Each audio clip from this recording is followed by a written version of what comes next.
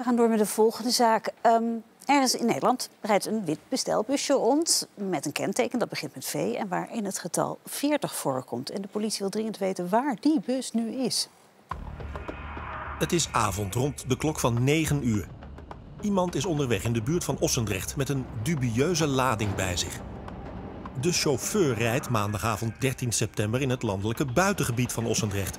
Behalve de bus is er niets of niemand in de omgeving te bekennen. En dat is precies de bedoeling van de bestuurder van de bus. Die wil geen pottenkijkers bij wat hij gaat doen.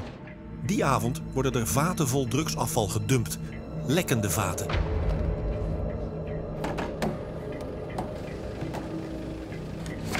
Langzaam maar zeker sijpelen er honderden liters giftig chemisch afval de natuur in. De actie is niet onopgemerkt gebleven. Een getuige heeft de bus zien wegrijden en schakelt snel de politie en de brandweer in.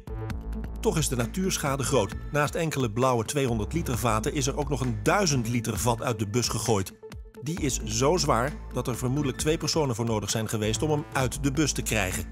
Diezelfde nacht van 13 op 14 september dumpen criminelen niet alleen in Ossendrecht afval, ook in Eindhoven en Teteringen ontstaan noodsituaties. Criminelen laten een lekkend busje achter op een viaduct over de A2. De vloeistof is zo giftig dat twee medewerkers van de marechaussee licht gewond raken wanneer ze de bus openen. Dat betekent ambulance erbij, weg afzetten, iedereen beschermen de kleding aan en het busje besproeien. Een wandelaar die zijn hond uitlaat, ziet weer een paar uur later zes vaten liggen in het buitengebied Kadettenkamp in Teteringen. Ze hebben al gelekt. 6000 liter chemicaliën in de natuur. De vaten zijn zo groot dat ook een bus of misschien een vrachtwagen gebruikt moet zijn om ze achter te laten. En ook hier moet de grond dus gesaneerd worden. Het is een paar weken rustig en dan is Breda aan de beurt. Op 6 november wordt daar het drugsafval vermoedelijk vanuit vaten rechtstreeks in de natuur vlakbij het water geloosd. Dus er moet snel worden afgegraven voor het gif zich via de sloten verspreidt. En 9 november kunnen mensen het Liesbos bij Breda niet in. Vlak bij de eeuwenoude eiken is ook gif in een sloot achtergelaten. Het is de vraag of de bomen dat uiteindelijk overleven. Ja, meneer advocaat, ik denk dat mensen schrikken als ze horen hoeveel het kost om dat spul weer weg te halen. Klopt, want het gaat natuurlijk wel om synthetisch drugsafval. En dat is zwaar giftig. Dus dat is niet even een kwestie van afgraven. Maar die mensen die dat moeten doen, die moeten ook beschermd worden tijdens het werk. En die gif moet ook uit die grond gesaneerd worden. Nou, in Ossendrecht, waar dat witte busje relatief gezien nog weinig achterliet... en het ook nog vrij snel werd ontdekt, kostte dat toch al tienduizenden euro's. En wie gaat dat betalen? Nou, de eigenaar van de grond die is daar verantwoordelijk voor. Die draait op voor die kosten, terwijl dat hij zelf niets fout heeft gedaan. Nou, als we dan kijken bij de dumping in Ossendrecht, kwam die rekening bij natuurmonumenten te liggen.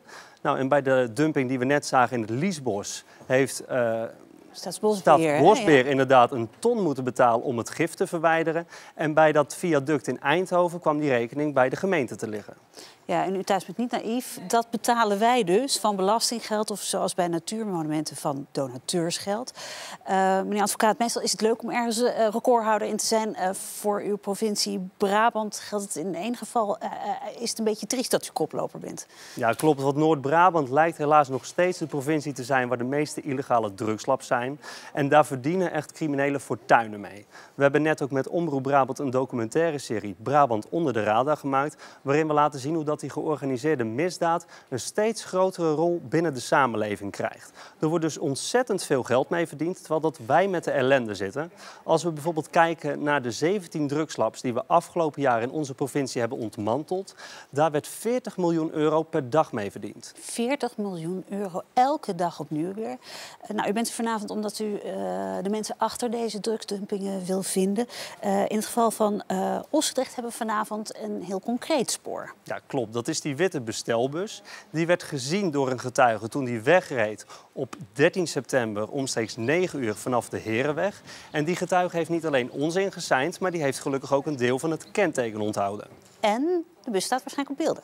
Ja, dat denken we inderdaad. Want even later werd exact zo'n bus als de getuige had gezien gefilmd in Ossendrecht. Nou, we zien hem hier afslaan in de richting van de Dorpstraat. Hij rijdt dan langs een hotel dat gelukkig een camera heeft. En het gaat om een witte Mercedes Sprinter zonder bestikkering. En helaas kunnen we niet goed zien wie er voorin zit of zitten. Maar de getuige heeft wel gezien dat het kenteken met de letter V begint en dat het getal 40 op die plaat staat. En u wil zoveel mogelijk informatie over deze sprinter. En die kan dus overal zijn. Ja, we hopen dat er mensen zijn die ons meer kunnen vertellen over die eigenaar. Of misschien een vermoeden hebben waar dit drugslop uh, kon hebben gestaan. Want we hebben echt de oren en ogen van iedereen nodig om dit probleem aan te pakken. Duidelijk. Dus weet u iets over de sprinter, wie het afval dumpte of waar die drugs werden gemaakt? Geef het door. En uh, dat mag bij dit soort zaken ook zeker via Meld Misdaad Anoniem.